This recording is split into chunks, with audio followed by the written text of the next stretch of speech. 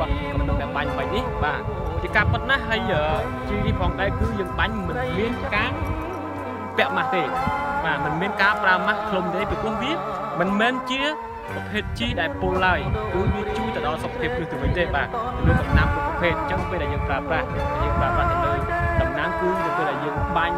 យើងមិនបាច់ចាំពាក់ម៉ាស់ទេណា mercury free, it is boron free, and it is edible, and it is 100% organic. It has nothing to do with chemicals, and it helps plants to grow healthy and eco-friendly, and that's why we recommend it. Like uh,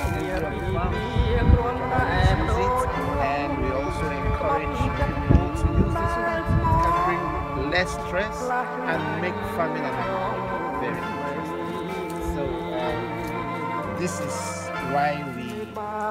come here in this uh, farm. This is the manager of this farm taking care of this place. Is about 54, right?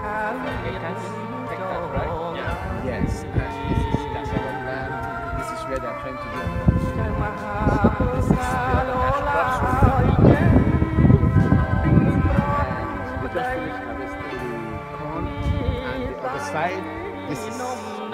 Where they are already doing some nice agriculture here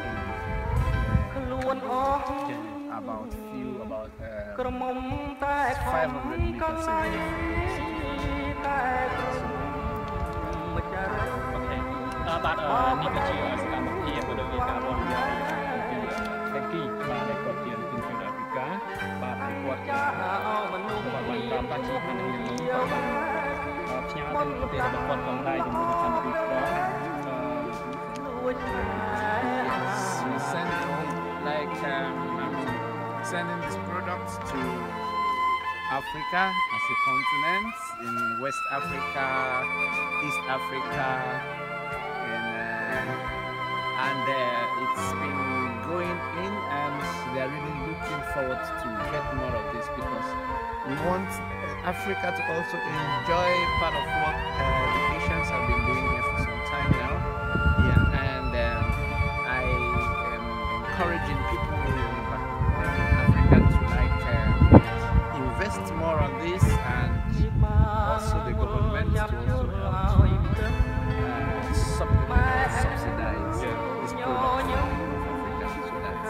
farming can also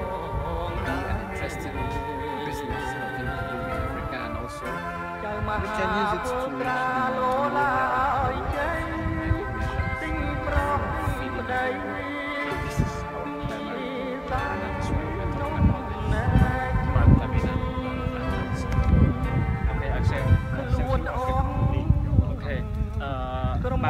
អឺនេះជាអ្វីដែលគាត់បាននិយាយផ្ទាល់តែម្ដងគាត់បានផ្ញើគាត់បានផ្ញើទៅដល់វិការ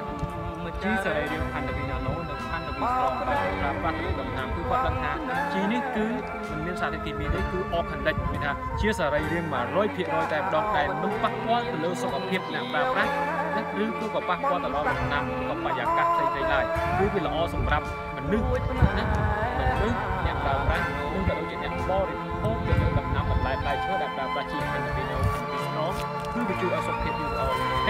ហើយនៅពេលដែលយើងប្រើប្រាស់គឺយើងមិនចាក់មកឡើយបាទអញ្ចឹងអូខេបាទអញ្ចឹងជា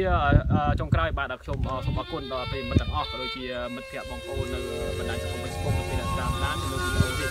ហើយបងប្អូនអាចទៅតំណែងមកខាងក្រុមហ៊ុនយើងខ្ញុំជាមួយនឹងទីសេរីផាន់វីណាណូបាទសូមអរគុណ Let's go.